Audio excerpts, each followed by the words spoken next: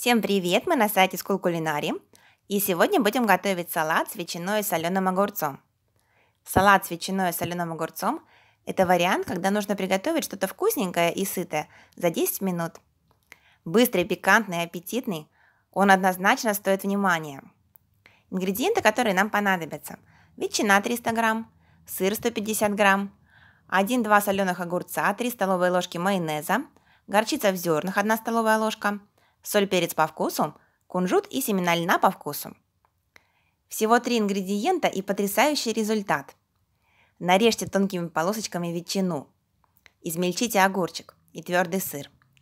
Для приготовления заправки в небольшую мисочку отправьте майонез. Добавьте горчицу в зернах, соль и перец по вкусу. Для пикантности можно добавить также горсть кунжута и семена льна.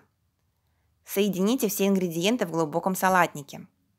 Выложите заправку и перемешайте аккуратно. Салат с ветчиной и соленым огурцом можно подавать.